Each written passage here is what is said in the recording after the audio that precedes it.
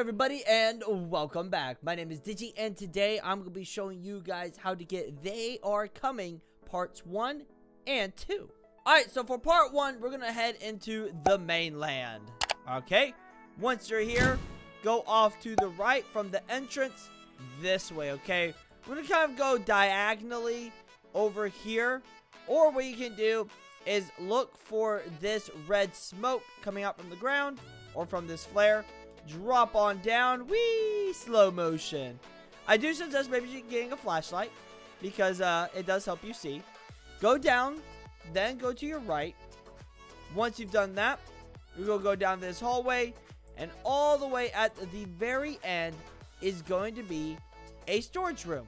Look here to your right, and there is a crowbar. It'll go to an inventory, and you will get the crowbar in or the badge for They Are Coming Part 1. Alright, now that you've got the crowbar, we're going to go ahead and take it over here back to the mainland and go off to the left side now of the mainland uh, building, I guess. We're going to go to the very corner of the map here.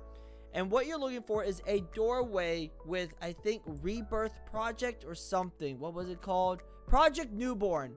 Use it on the wooden planks. Just hold down E and there we go. Once that opens up, you can walk in. But wait, more content later. No! But you'll get the badge. You'll get teleported back out. And there you go. Also, oh, you get a lantern and a combat knife. Stabby, stabby. Go eat some hot dogs.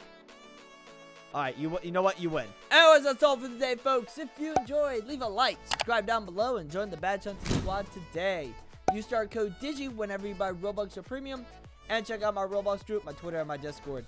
Links are in the description down below. As always, stay awesome, stay cool, and go love badge hunting. Bye-bye.